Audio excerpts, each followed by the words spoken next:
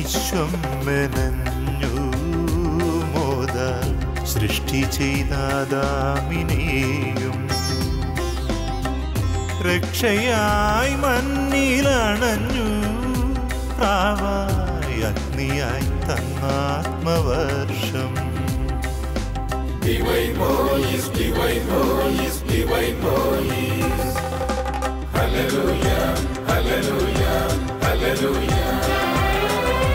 Hallelujah.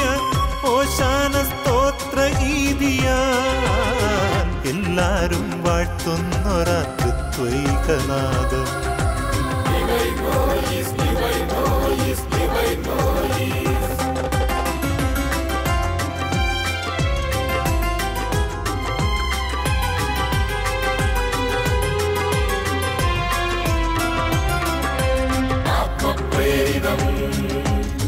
വാഴ്ത്തുന്നൊരത്വൈകനാദം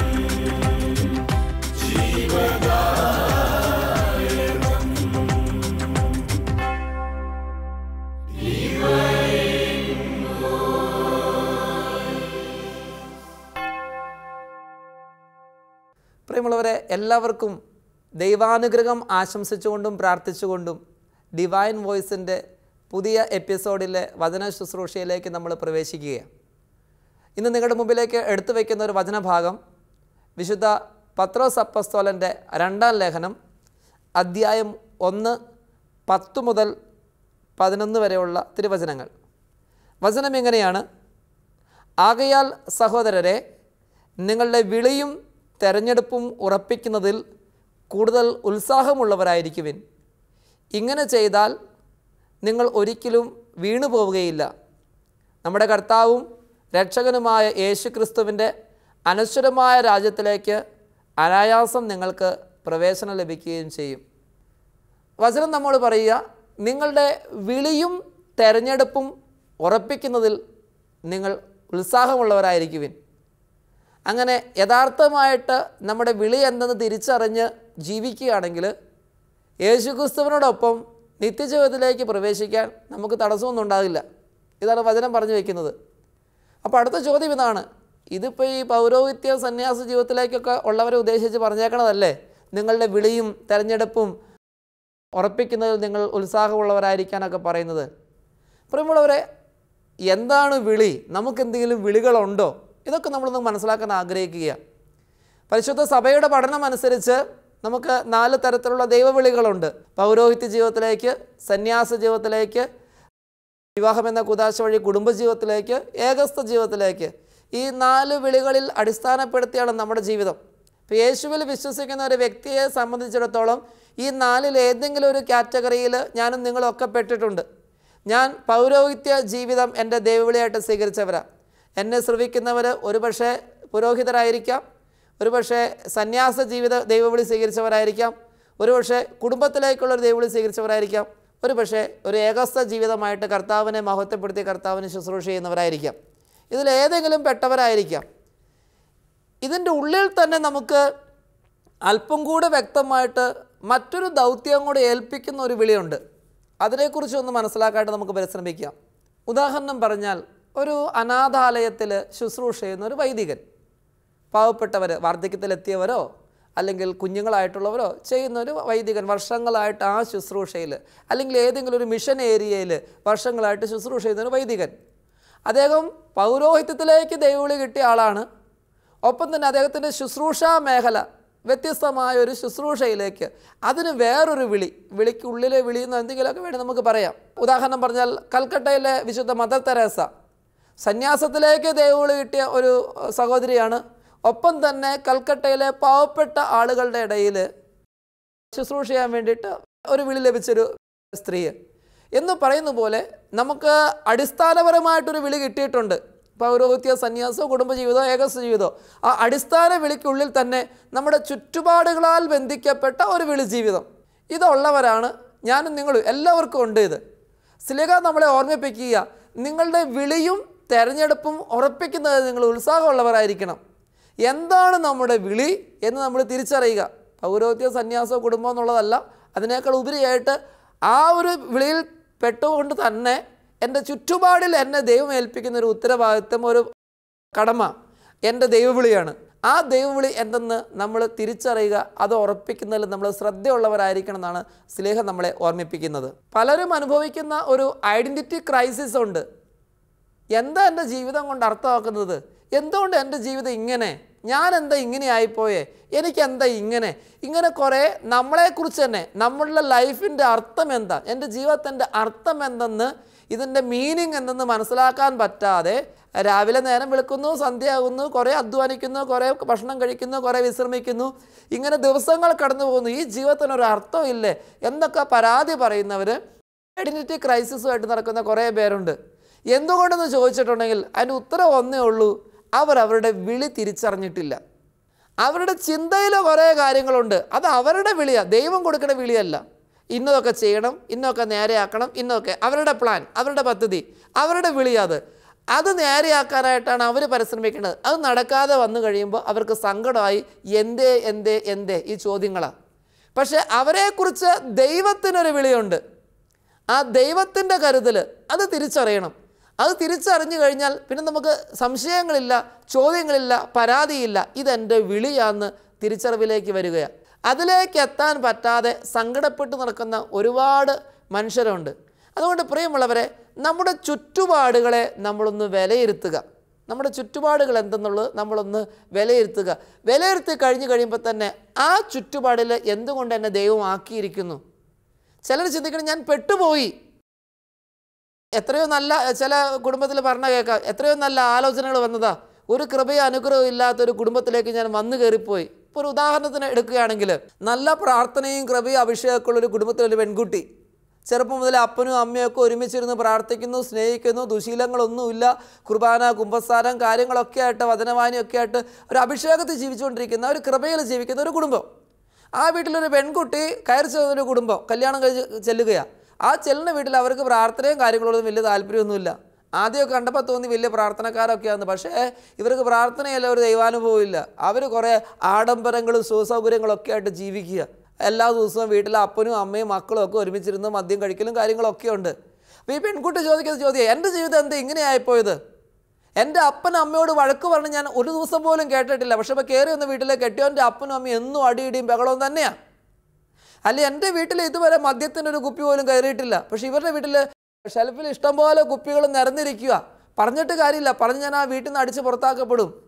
എന്റെ അവസ്ഥ ഇങ്ങനെ ആയിപ്പോയല്ലോ എന്ന് പരിതപിക്കുന്നവരുണ്ട്. അങ്ങനെ പരിതപിക്കുന്നവരോട് എനിക്ക് പറഞ്ഞു വയ്ക്കാനുള്ളൊരു ചിന്ത ഇതാണ്. നമ്മുടെ വിളിയും തെരഞ്ഞെടുപ്പും നമ്മളിപ്പോഴും ഉറപ്പിച്ചിട്ടില്ല. എന്താണെന്നറിയാമോ നമ്മൾ ചിന്തിക്കുന്നത് നമ്മൾ ഈ വീട്ടിൽ പെട്ടുപോയി. വന്ന് കയറിപ്പോയി. ഇത്രയോടെ ആലോചിക്കാൻ പറ്റിയില്ല. പെട്ടുപോയതാ. പ്രിയമുള്ളവരെ പെട്ടുപോയതല്ല ആരും പെടുത്തി കളഞ്ഞതുമല്ല. പിന്നെയോ കർത്താവ് എന്നെ കൊണ്ടുവന്ന് എന്റെ ശുശ്രൂഷ മേഖലയിൽ എന്നെ ആക്കിയിരിക്കും ഇപ്പോൾ ഇതെന്റെ ദൈവവിളിയാണെന്ന് തിരിച്ചറിയുക. എന്നെ കൊണ്ടുവന്ന് ആക്കിയിരിക്കുന്ന ഈ ചുറ്റുപാട് ഈ സാഹചര്യം എന്റെ ദൈവവിളിയാണ്. ഇവിടെ എന്തെങ്കിലുമൊക്കെ ചെയ്യാനായിട്ട് ദൈവം എന്നെ കൊണ്ട് ആവശ്യപ്പെടുകയാണ്. ഇത്രയും നാൾ ഞാൻ ആയിരുന്ന ഒരു സന്തോഷത്തിന്റെ ഒരു സുഖത്തിന്റെ ഒരു സമയമുണ്ട്. അത് വിട്ടിട്ട് അല്പം കല്ലും മുള്ളും ഒക്കെ നിറഞ്ഞ മനസ്സിന് വിഷമവും സങ്കടവും ഒക്കെ തരുന്ന ഒരവസ്ഥയിൽ എന്നെ കൊണ്ടൊന്നാക്കിയേക്കുക അവിടെ ഞാൻ പെട്ടുപോയിട്ടില്ല. പെട്ടുപോവുകയല്ല പിന്നെയോ ദൈവം എന്നെ ഒരു ശുശ്രൂഷാ മേഖലയിൽ കൊണ്ടുവന്നാക്കിയേക്കുക അവിടെ ഞാൻ പ്രവർത്തിക്കണം. അങ്ങനെ ഒരു വ്യക്തി ചിന്തിക്കാൻ തുടങ്ങിക്കഴിയുമ്പോൾ ചുറ്റുപാടുമുള്ള പ്രശ്നങ്ങൾ പിന്നെ പ്രശ്നങ്ങളല്ല. പ്രിയമുള്ളവരെ ഞാനും നിങ്ങളും ഒക്കെ നമ്മുടെ ചുറ്റുപാടിൽ ചില നൊമ്പരങ്ങൾ ചില അസ്വസ്ഥതകൾ വരുമ്പോൾ ചാടി ചോദിക്കുന്ന ചോദ്യം ഇതാ എന്തുകൊണ്ട് എന്റെ ജീവിതത്തിൽ ഇങ്ങനൊരു പ്രശ്നം? എന്തുകൊണ്ട് ഇങ്ങനൊരു സഹനം? എന്ത് എന്റെ ചുറ്റുപാടുമുള്ളവർ ഇങ്ങനെ? എന്റെ ജീവിതം എന്തുകൊണ്ട് ഇങ്ങനെ ആയിപ്പോയി? അതൊരു ക്രൈസിസാണ് പറയുള്ളവരെ ആ ക്രൈസിസിൽ നമ്മൾ തിരിച്ചറിയണം ഇത് എന്റെ ദൈവ വിളിയാണ് ഈ ചുറ്റുപാടിൽ ഞാൻ എന്തെങ്കിലുമൊക്കെ ചെയ്യാനായിട്ട് ദൈവം എന്നിൽ നിന്ന് ആഗ്രഹിക്കുന്നുണ്ട്. വിശുദ്ധ ബെനഡിക്റ്റ് പതിനാറാമൻ മാർപ്പാപ്പ സ്ഥാനത്യാഗം ചെയ്ത ബെനഡിക്റ്റ് പതിനാറാമൻ മാർപ്പാപ്പ. അദ്ദേഹത്തോട് നടത്തിയ ഒരു അദ്ദേഹവുമായിട്ട് നടത്തിയ ഒരു ഇന്റർവ്യൂ ഒരു തവണ അത് പത്രത്തിൽ മറ്റും വന്നത് വായിച്ചത് ഞാൻ ഓർക്കുന്നുണ്ട്. അദ്ദേഹത്തോട് ചോദിക്കുന്ന ഒരു ചോദ്യമുണ്ട്. ദൈവത്തിലേക്ക് എത്തിച്ചേരാൻ എത്ര വഴികളുണ്ട്? ദൈവത്തിലേക്ക് എത്തിച്ചേരാൻ എത്ര വഴികളുണ്ട്? അതിന് അദ്ദേഹം കൊടുത്ത ഉത്തരം ഇതാണ്. ഭൂമിയിൽ എത്ര കോടി മനുഷ്യരുണ്ടോ അത്രയും വഴികളുണ്ട് ദൈവത്തിലേക്ക് എത്തിച്ചേരാൻ. ദൈവത്തിലേക്ക് എത്തിച്ചേരാൻ എത്ര വഴികളുണ്ടെന്ന് ചോദ്യത്തിന് ബെനഡിക്റ്റ് പതിനാറാമൻ മാർപ്പാവ് കൊടുത്ത ഉത്തരം ഇതാണ്. ഭൂമിയിൽ എത്ര കോടി മനുഷ്യരുണ്ടോ അത്രയും വഴികളുണ്ട് ദൈവത്തിൽ എത്തിച്ചേരാൻ. എന്ന് വെച്ചാൽ ഓരോ വ്യക്തിയും ആ വ്യക്തിയുടെ ചുറ്റുപാടും ദൈവത്തിൽ എത്തിച്ചേരാനുള്ള വഴിയാണെന്ന് മാർപ്പാവ് പഠിപ്പിക്കുന്നത്. ഇപ്പം ഞാനൊരു പുരോഹിതനാണ്. പോട്ട ആശ്രമത്തിൽ ശുശ്രൂഷ ചെയ്യുന്നു. എനിക്ക് ദൈവത്തിൽ എത്തിച്ചേരാനുള്ള വഴിയാണ് എന്റെ ആശ്രമ ജീവിതം എന്റെ വചന ശുശ്രൂഷ മേഖല എന്റെ ജീവിത രീതികൾ ഞാൻ വേറെ ആരുടെയെങ്കിലും ജീവിത രീതികൾ കണ്ടിട്ട് ജീവിക്കാൻ തുടങ്ങിക്കഴിഞ്ഞാൽ പ്രിയമുള്ളവരെ ഞാൻ പരാജയമടയും. ഞാൻ മറ്റാരുടെയും കോപ്പി ആകരുത് ഒരിക്കലും. പരീക്ഷയ്ക്ക് നമ്മൾ എഴുതി വയ്ക്കുമ്പോൾ കോപ്പി അടിച്ച് എഴുതിച്ചാൽ മാർക്കൊക്കെ കിട്ടുമായിരിക്കും. പക്ഷെ നമുക്ക് സംതൃപ്തിയില്ലല്ലോ. നമ്മൾ പഠിച്ച് നമ്മുടേതായ ഉത്തരം നമ്മുടേതായ വാക്കുകളിൽ കുറിച്ച് വയ്ക്കുമ്പോൾ കിട്ടുന്നൊരു സംതൃപ്തി ഉണ്ടല്ലോ. അതുപോലെ മറ്റുള്ളവരെ പറ്റിച്ചും തട്ടിപ്പും നടത്തിയും നാല് കാശുണ്ടായിട്ട് സൂയിക്കുമ്പോൾ കിട്ടുന്ന സന്തോഷമല്ല. എല്ലുമുറിയെ പണിയെടുത്തിട്ട് അധ്വാനിച്ച പണം കൊണ്ട് കിട്ടുന്ന സന്തോഷം എന്ന് പറയുന്നത്. എന്ന് പറയുന്ന പോലെ പ്രിയമുള്ളവരെ നമ്മുടെ ചുറ്റുപാടുകൾ ആ ചുറ്റുപാടുകൾ അവരുടെ ജീവിതം അങ്ങനെയാണല്ലോ അവർക്ക് കുഴപ്പമൊന്നുമില്ലല്ലോ അവരെന്ത് സന്തോഷത്തോടെ ജീവിക്കുന്നു? ഇങ്ങനെ മറ്റുള്ളവരുടെ ജീവിതത്തെ കണ്ട് അതുപോലെ ആയില്ലല്ലോ. എന്ന് പരിതപിക്കുമ്പോൾ നമ്മൾ മറ്റുള്ളവരുടെ കോപ്പി ആകാൻ ആഗ്രഹിക്കുന്നത്. മറ്റുള്ളവരുടെ കോപ്പി ആകാനായിട്ട് നമ്മൾ ആഗ്രഹിക്കുമ്പോൾ അതിൽ ദൈവത്തിന്റെ കൃപ അനുഗ്രഹം ഇല്ല. ദൈവത്തിന്റെ കൃപ അനുഗ്രഹം എപ്പോഴാണ്? ദൈവം എനിക്ക് തന്നേക്കുന്ന ചുറ്റുപാട്. ഒരുപക്ഷെ കുടുംബത്തിലെ ഏതെങ്കിലും രോഗിയുള്ളത് എന്റെ സങ്കടമായിരിക്കാം. ഒരുപക്ഷെ കുടുംബത്തിൽ ഏതെങ്കിലും ദുശീലങ്ങളുള്ളത് എന്റെ ഒരു സങ്കടമായിരിക്കാം. സാമ്പത്തിക ഞെരുക്കത്തിൽ കടന്നു പോകുന്ന എന്റെ സങ്കടമായിരിക്കാം. അല്ലെങ്കിൽ കുടുംബത്തിലെ പ്രശ്നങ്ങളുള്ളത് എന്റെ ഒരു സങ്കടമായിരിക്കാം. ഏതെങ്കിലുമൊക്കെ കൂടെപ്പിറപ്പുകൾ ആരെങ്കിലുമൊക്കെ ഒരു അസ്വസ്ഥപ്പെട്ട് കിടക്കുക അല്ലെങ്കിൽ പറയാൻ കൊള്ളാത്ത രീതിയിൽ ചില അസ്വസ്ഥയിലൂടെ പോകുന്ന പ്രിയപ്പെട്ടവർ എനിക്കുണ്ട്. ഇങ്ങനെ പല പ്രശ്നങ്ങളുടെയൊക്കെ നടുവിൽ ജീവിത സാഹചര്യങ്ങളൊക്കെ നമ്മൾ പെട്ടിരിക്കുമ്പോൾ നമ്മൾ ചിന്തിക്കുക എന്റെ ജീവിതം ഇങ്ങനെയായിപ്പോയി എന്റെ ജീവിതം ഇങ്ങനെയായിപ്പോയി എന്ന് ചിന്തിക്കാതെ ഇതെന്റെ ദൈവവിളിയാണെന്ന് ചിന്തിച്ചു കഴിഞ്ഞാൽ ഞാനൊരു ഉദാഹരണം നിങ്ങളുടെ മുമ്പിലേക്ക് കൊണ്ടുവരാം. ഒരിക്കൽ ഡിവൈൻ ധ്യാന മന്ദിരത്തിൽ ധ്യാനം കൂടാൻ വന്ന ഒരു അക്രൈസ്തവ സഹോദരി. ആ സഹോദരിക്ക് വിവാഹം കഴിഞ്ഞ ഏതാനും മാസങ്ങൾക്കുള്ളിൽ തന്നെ ഭർത്താവ് ഒരു ആക്സിഡന്റിൽപ്പെട്ട് കിടപ്പായി. എഴുന്നേറ്റ് നടക്കാൻ പറ്റാത്തൊരവസ്ഥയിൽ അവർക്ക് സാമ്പത്തികമൊക്കെ ഉണ്ട് ഡോക്ടർമാർ പരമാവധി ശ്രമിച്ചു. എന്നിട്ടും അത് വീണ്ടെടുക്കാനായിട്ട് പറ്റുന്നില്ല. അപ്പോൾ സ്വന്തം വീട്ടുകാർ അവളെ മറ്റൊരു വിവാഹത്തെക്കുറിച്ച് ചിന്തിക്കാനായിട്ട് അവനിനി എഴുന്നേറ്റ് നടക്കില്ല എന്നുള്ള രീതിയിൽ വൈദ്യശാസ്ത്രം വിധി എഴുതി കഴിഞ്ഞപ്പോൾ മറ്റൊരു വിവാഹത്തെക്കുറിച്ച് പ്രേരിപ്പിക്കാൻ തുടങ്ങി. അപ്പോൾ അവൾക്ക് താല്പര്യമില്ല. പക്ഷേ അവരുടെ വീട്ടുകാർ പറയാൻ തുടങ്ങി. ഞങ്ങൾ പറഞ്ഞ നീ കേട്ട് പോകുവാണെങ്കിൽ നിനക്ക് നല്ലൊരു ജീവിതമുണ്ട്. അല്ലെങ്കിൽ കുറേ വർഷങ്ങൾ കഴിയുമ്പോൾ നിനക്ക് എന്നും സങ്കടമായിരിക്കും ഉണ്ടായിരിക്കുള്ളൂ. അന്ന് ഞങ്ങളായിരുന്നു എന്റെ കൂടെ ഉണ്ടായിരിക്കില്ല എന്നൊക്കെ പറഞ്ഞ് ഇവളെ മറ്റൊരു വിവാഹത്തിന് നിർബന്ധിക്കാൻ തുടങ്ങി. അതിനിടയിൽ ഇവളുടെ കൂട്ടുകാരിയായ ഒരു ക്രൈസ്തവ സഹോദരി അവളോട് പറഞ്ഞു ഒരു കാര്യം ചെയ്യ് നമുക്ക് ധ്യാനമന്ദിരത്തിൽ പോകാം. ഒരു ധ്യാനം കൂടാം. ഒരുപക്ഷെ ദൈവം നമ്മുടെ സങ്കടങ്ങൾ കേട്ട് അനുഗ്രഹം തരുമായിരിക്കും. അങ്ങനെ ഈ ക്രൈസ്തവ സഹോദരി ഈ അക്രൈസ്തവ സഹോദരിയായിട്ട് ഡിവൈനിൽ ധ്യാനം കൂടാൻ വന്നു. ഇവളുടെ മനസ്സിന്റെ ഉള്ളിൽ ഒരൊറ്റ ചിന്തയേ ഉള്ളൂ ചിന്ത ഇതാണ് ധ്യാനം കഴിഞ്ഞ് പോകുമ്പോഴത്തേക്കും ഈ തളർന്നു കിടക്കണം എന്റെ ഭർത്താവ് സൗഖ്യം പ്രാപിച്ച് എഴുന്നേറ്റ് നടക്കണം. ഇതാണ് പ്രാർത്ഥന. ഞായറാഴ്ച ധ്യാനം ആരംഭിക്കുമ്പോൾ മുതൽ ഇവൾ ഈ ഭർത്താവിന്റെ സൗഖ്യത്തിന് വേണ്ടി പ്രാർത്ഥിക്കുന്നുണ്ട്. ധ്യാനം തീരുന്നതിന് മുമ്പുള്ള അവസാനത്തെ ആരാധന വരെ എത്തിയിട്ടും ഈ ഭർത്താവിന് സൗഖ്യം കിട്ടിയിട്ടില്ല. തളർന്നു കിടക്കുന്നവൻ അങ്ങനെ തന്നെ കിടക്കുകയാണ്. വെള്ളിയാഴ്ച ധ്യാനം തീർന്നു. ധ്യാനം തീർന്നു കഴിഞ്ഞിട്ടും തളർന്നു കിടക്കുന്നവൻ അങ്ങനെ തന്നെ കിടക്കുക. സൗഖ്യമൊന്നും കിട്ടിയിട്ടില്ല. പക്ഷേ ദൈവാനുഗ്രഹം ഉണ്ടായത് ഈ പെൺകുട്ടിക്ക്. ഇവൾ ആഗ്രഹിച്ചത് മുഴുവൻ ഇവളുടെ ഭർത്താവിന് സൗഖ്യം കിട്ടണം. അപ്പോൾ പിന്നെ ആരുടെയും പ്രഷറില്ല സന്തോഷമായിട്ട് ഭർത്താവിന്റെ ഒപ്പം ജീവിക്കാം. പക്ഷേ കർത്താവ് ഈ ഭർത്താവിനെ സുഖപ്പെടുത്താനല്ല നോക്കിയത്. പിന്നെയോ ആരാധനയുടെ സമയത്ത് അവൾക്ക് ആദ്യമായിട്ട് ഒരു ദൈവാനുഭവം. ആ അനുഭവം മറ്റൊന്നുമല്ല. ധ്യാനമന്ദിരത്തിന്റെ ബാക്ക്ഗ്രൗണ്ടിൽ ഒരു ഈശോയുടെ ചിത്രം ഇരിപ്പുണ്ട് പരിശുദ്ധ കുർബാന അൾത്താരയിൽ എഴുന്നള്ളിച്ച് വരിക്കുന്ന സമയത്ത് എല്ലാവരും പ്രാർത്ഥിച്ചുകൊണ്ടിരിക്കുമ്പോൾ അവൾക്ക് മാത്രമുണ്ട് ഒരു അനുഭവം ആ പരിശുദ്ധ കുർബാനയിൽ നിന്ന് ഈ സ്റ്റേജിന്റെ ബാക്ക്ഗ്രൗണ്ടിലുള്ള ഈശോ ചുവന്ന ഷോളൊക്കെ പോച്ചിരിക്കുന്ന ഈശോ അതുപോലെ പരിശുദ്ധ കുർബാനയിൽ നിന്ന് ആ മുറിവേറ്റ കരങ്ങളൊക്കെ ആയിട്ട് ആ ഈശോ ഇവളുടെ അടുത്തേക്ക് ഇറങ്ങി വന്നോട്ട് ഇവക്കൊരു അനുഭവം. ഇറങ്ങി വന്നിട്ട് അവളോട് ഈശോ ഒരു കാര്യം പറഞ്ഞോളൂ. പറഞ്ഞ കാര്യം ഇതാണ്. മോളെ നിന്റെ ഭർത്താവിന് നീ മാത്രമേ ഉള്ളൂ കേട്ടോ. അവനെ നീ ഉപേക്ഷിച്ചേക്കരുത്. വേറെ ഒന്നുമില്ല. ഈശോ അവളുടെ മുമ്പിൽ ഇറങ്ങി വന്നിട്ട് അവളോട് പറയുന്നോട്ടോ അവൾക്കൊരു അനുഭവം. മോളെ നിന്റെ ഭർത്താവിന് നീ മാത്രമേ ഉള്ളൂ കേട്ടോ അവനെ നീ ഉപേക്ഷിച്ചേക്കരുത്. ആ ഒരു പറച്ചിൽ കേട്ടതും അവളൊരു തീരുമാനം എടുത്തു. ഇനി എനിക്കൊരു ജീവിതം ഉണ്ടെങ്കിൽ മരണം വരെ ഈ ഭർത്താവിന് ശുശ്രൂഷ ചെയ്ത് പോവുക. എന്റെ വീട്ടുകാരുടെ ആരുടെ സപ്പോർട്ട് കിട്ടിയില്ലെങ്കിലും വേണ്ടില്ല. ഇത് ദൈവം എന്നെ ഏൽപ്പിച്ചു എങ്ങനെയാണ് എന്റെ ജീവിത നിയോഗം ഇതാന്ന് അവൾ തിരിച്ചറിയുകയാണ് ധ്യാനത്തിന് തളർന്ന ഭർത്താവുമായിട്ട് വന്ന്. അവൾ അതുപോലെ തന്നെ ധ്യാനം കഴിഞ്ഞ് തളർന്ന ഭർത്താവുമായിട്ടാണ് പോയത്. പക്ഷെ ഇങ്ങോട്ട് വരുമ്പോൾ തളർന്ന ഭർത്താവും തകർന്ന ഭാര്യയുമായിരുന്നു. അങ്ങോട്ട് പോകുമ്പോൾ തളർന്ന ഭർത്താവും ഉന്മേഷമുള്ള ഭാര്യയായിട്ട് അവൾ പോയത്. എന്നിട്ട് അവളുടെ ഭർത്താവിന് വേണ്ടി ജീവിക്കാനായിട്ട്. ഒരുപക്ഷെ നമ്മൾ മാനുഷികമായിട്ട് ചിന്തിക്കുമ്പോൾ അവളുടെ ജീവിതത്തിൽ എന്താ അർത്ഥം ഇനി? എന്നൊക്കെ തോന്നുമായിരിക്കും. പക്ഷേ പ്രിയമുള്ളവരെ അവളതിലൊരു സന്തോഷം കണ്ടെത്താൻ തുടങ്ങുക. കാരണം എന്താ? ദൈവം അവളെ ഏൽപ്പിച്ചിരിക്കുന്ന അവളുടെ വിളി എന്ന് പറയുന്നത് ഈ കിടപ്പ് രോഗിയായ ഭർത്താവിന് വേണ്ടിയിട്ട് ശുശ്രൂഷ ചെയ്ത് ജീവിക്കുക എന്നുള്ളതാണ് ഒരു തിരിച്ചറിവിലേക്ക് അവൾ എത്തുകയാണ്. അപ്പം നമുക്കെല്ലാവർക്കും നമ്മുടെ ചുറ്റുപാടിൽ ദൈവം ഒരു വിളി തന്നിട്ടുണ്ട്. ആ വിളി തിരിച്ചറിയുക എന്നുള്ളതാണ് ഏതാനും വ്യക്തികളെ ഞാൻ നിങ്ങളുടെ മുമ്പിലൊന്ന് പരിചയപ്പെടുത്താനായിട്ട് ആഗ്രഹിക്കുകയാണ്. മാർച്ച് മാസം ഒൻപതാം തീയതി നമ്മൾ തിരുനാൾ ആഘോഷിക്കുന്ന ഒരു വിശുദ്ധയാണ് വിശുദ്ധ ഫ്രാൻസസ് എന്ന് പറയും. ഫ്രാൻസിസ് അല്ല വിശുദ്ധ ഫ്രാൻസിസ് ഒരു വീട്ടമ്മയാണ് ഈ ഫ്രാൻസിസ് എന്ന് പറയുന്ന വീട്ടമ്മ ദൈവിക കൃപയിലൊക്കെ ജീവിക്കാൻ ഒരുപാട് പ്രാർത്ഥിക്കാനൊക്കെ ആഗ്രഹിച്ചൊരു വ്യക്തി. കുടുംബമായിട്ട് ജീവിക്കുമ്പോൾ നമുക്കറിയാം ഉത്തരവാദിത്തങ്ങളുടെയും പ്രാരാബ്ദങ്ങളുടെയൊക്കെ നടുവിൽ ഇരുന്ന് പ്രാർത്ഥിക്കാനൊന്നും അധിക സമയം ചിലപ്പോൾ കിട്ടണമെന്നില്ല. അങ്ങനെ ഒരു വീട്ടമ്മ. ഇതാ വീട്ടമ്മമാർക്കൊക്കെ ഇത് ചിന്തിക്കാവുന്നൊരു വിഷയമാണ്. ഈ വീട്ടമ്മയായ ഫ്രാൻസസിന് ഇവൾക്ക് ഏറ്റവും സന്തോഷമുള്ള ഒരു കാര്യം ബൈബിൾ തുറന്നിട്ട് ബൈബിളിലെ സങ്കീർത്തനങ്ങൾ വായിച്ച് പ്രാർത്ഥിക്കുന്നതിലാണ് അവളുടെ ചരിത്രത്തിൽ എഴുതി വച്ചിരിക്കുന്നത് എങ്ങനെയാണ്? അവളൊരു ദിവസം ബൈബിൾ തുറന്ന് സങ്കീർത്തനം വായിക്കാനായിട്ട് തുടങ്ങി. വായിക്കാനായിട്ട് തുടങ്ങിയ സമയത്ത് ഭർത്താവ് എന്തോ കാര്യത്തിന് വേണ്ടിയിട്ട് അവളെ വിളിച്ചു. അവൾക്ക് വേണമെങ്കിൽ പറയാം ഞാൻ ബൈബിൾ വായിക്കണം കണ്ടില്ല? ചില കഴിയുമ്പോൾ ചെയ്തു തരാമെന്നൊക്കെ പറയാം. ഇതൊന്നും പറഞ്ഞില്ല. ബൈബിൾ അടച്ചു വെച്ചിട്ട് അവൾ പോയി ഭർത്താവ് ചോദിച്ച കാര്യം ചെയ്തു കൊടുത്തു. അത് കഴിഞ്ഞ് വന്ന് രണ്ടാം പ്രാവശ്യം വചനം വായിക്കാനായിട്ട് ഇരിക്കുന്ന സമയത്ത് വീണ്ടും മക്കൾ എന്തോ കാര്യത്തിന് വേണ്ടി വിളിച്ചു. ഭർത്താവിനോട് എതിർത്ത് പറഞ്ഞില്ലെങ്കിലും മക്കളോട് പറയാം. ഞാനിവിടെ ബൈബിൾ വായിക്കണ കാണാൻ പാടില്ലേ നീ വേണി ഇപ്പോൾ തന്നെ ചെയ്യുക ഇത്രയും കഴിയുമ്പോൾ അമ്മ ചെയ്തു തരാം എന്നൊക്കെ വേണേൽ പറയാം. ഒരു പരാതിയും കൂടാതെ അവൾ ബൈബിൾ അടച്ചു വെച്ചിട്ട് മക്കൾ ചോദിച്ച കാര്യം ചെയ്തു കൊടുത്തു.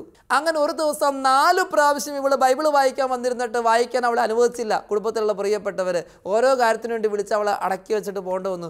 ഒരു പരാതിയും കൂടാതെ തന്റെ ഉത്തരവാദിത്വമാണെന്നുള്ള രീതിയിൽ ഭർത്താവിനും മക്കൾക്കും വേണ്ടി ശുശ്രൂഷ ചെയ്തു. അങ്ങനെ നാല് പ്രാവശ്യം എഴുന്നേറ്റ് പോയി ശുശ്രൂഷ ചെയ്തിട്ട് വന്ന് അഞ്ചാം പ്രാവശ്യം ഇവൾ ബൈബിൾ ഒന്ന് തുറക്കുമ്പോൾ കാണുന്ന കാഴ്ച എന്താണെന്നറിയാമോ? നാലാം പ്രാവശ്യം ഇവൾ എഴുന്നേറ്റ് പോണ സമയത്ത് ബൈബിളിൽ സങ്കീർത്തനം വെള്ള പേപ്പറിൽ കറുത്ത മഷിയിൽ എഴുതി വെച്ചിരിക്കുകയായിരുന്നു. അഞ്ചാം പ്രാവശ്യം ഇവൾ വന്നിട്ട് ബൈബിൾ തുറക്കുമ്പോൾ കാണുന്ന കാഴ്ച ഇതാണ്. സങ്കീർത്തനം ഇതാ വെള്ള പേപ്പറിൽ സ്വർണമഷിയിൽ എഴുതി വെച്ചിരിക്കുക. ഈ വിശുദ്ധയ്ക്കുണ്ടായ അത്ഭുതമാണത് വിശുദ്ധ ഫ്രാൻസിന് പ്രിയമുള്ളവരെ അവൾക്ക് നൽകപ്പെട്ട ചുറ്റുപാട് ഭർത്താവും മക്കളുള്ള ചുറ്റുപാട് ആ ചുറ്റുപാടിൽ അവൾ പരമാവധി അത് തന്റെ ദൈവവിളിയാണ് തിരിച്ചറിഞ്ഞ് ദൈവത്തെ മഹത്വപ്പെടുത്താനായിട്ട് പരിശ്രമിക്കുക. ഒരു വചനമുണ്ട്. വചനം ഇതാണ്. വിശുദ്ധ യോഹന്നാന്റെ സുവിശേഷം അധ്യായം പതിനേഴ് നാലാം തിരുവചനം.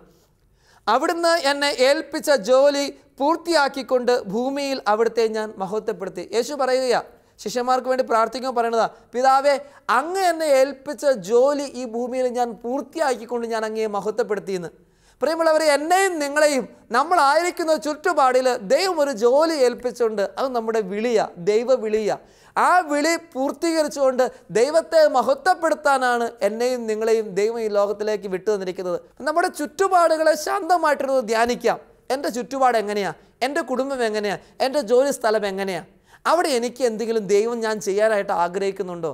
അത് ചെയ്യാനായിട്ട് തുടങ്ങിക്കഴിയുമ്പോൾ അങ്ങനെ ജീവിതത്തെ നോക്കിക്കാണാനായിട്ട് തുടങ്ങിക്കഴിയുമ്പോൾ സന്തോഷം നിറയുക. നമുക്ക് പരിചിതമായ മറ്റൊരു വിശുദ്ധയുടെ ജീവിത ഭാഗം വിശുദ്ധ മരിയ ഫൗസ്റ്റീന ഈ കാലഘട്ടത്തിൽ നമ്മൾ ഒരുപാട് സംസാരിക്കുന്നൊരു വിഷയമാണ് കരുണയുടെ മധ്യസ്ഥയായ പ്രവാചകയായ വിശുദ്ധ മരിയ ഫൗസ്റ്റീന. ഈ മരിയ ഫൗസ്റ്റീന മഠത്തിലായിരിക്കുന്ന സമയത്ത് അവൾക്ക് ഒരു കുട്ടികളുടെ ഭക്ഷണശാലയുടെ ഉത്തരവാദിത്വം ഏൽപ്പിച്ചിരിക്കുകയാണ്.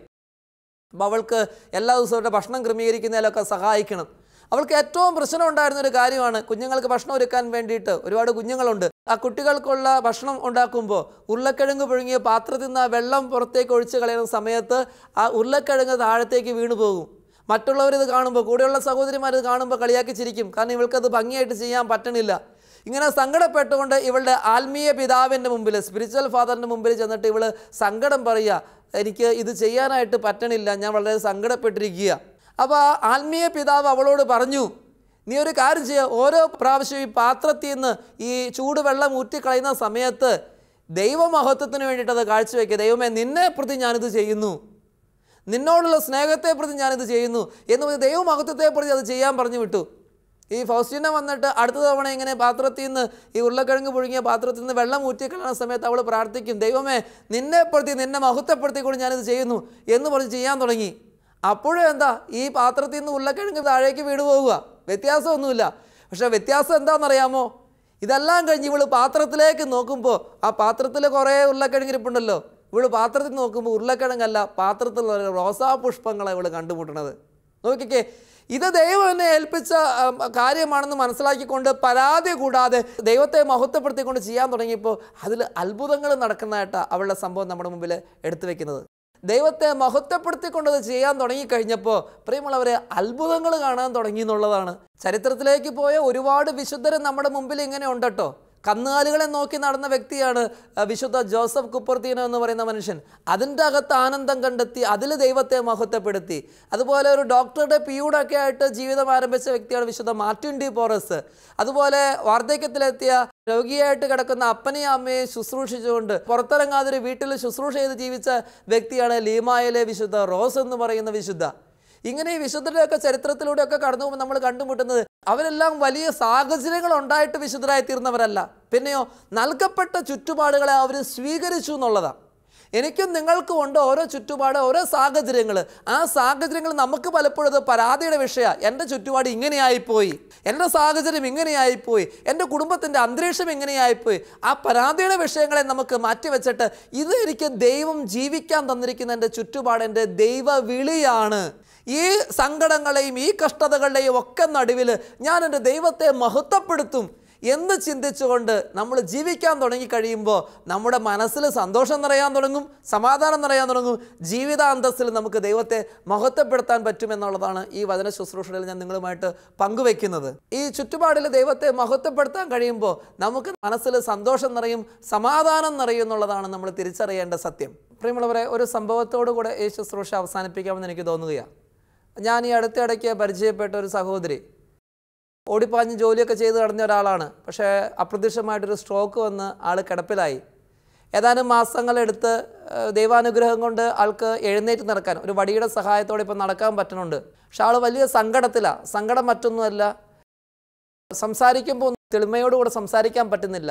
അതരം ഒരു സൈഡിലേക്ക് കോടിപ്പോയിട്ടുണ്ട്. അപ്പം മുഖത്തിന്റെ ഷേപ്പ് അല്പം വ്യത്യാസം വന്നിട്ടുണ്ട്.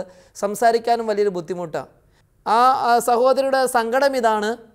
അവർക്ക് ഇത്രയും നാൾ ഭർത്താവിന്റെയും മക്കളെയെല്ലാം കാര്യം നോക്കി ജീവിച്ചു. ഇപ്പോൾ ഒന്നും ചെയ്യാൻ പറ്റുന്നില്ല. രണ്ടൊരു കാര്യം സംസാരിക്കാൻ പറ്റുന്നില്ല. മൂന്ന് മുഖത്തിന്റെ ഷേപ്പ് മാറിപ്പോയി. വല്ലാതെ സങ്കടപ്പെട്ട നിരാശയിലൂടെ കടന്നു പോവുകയാണ്.